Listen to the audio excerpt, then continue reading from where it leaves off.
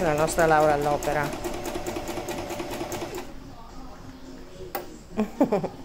Ti trovi con le pinzette allora? Sì, dai. Sì. okay. Sì, sì.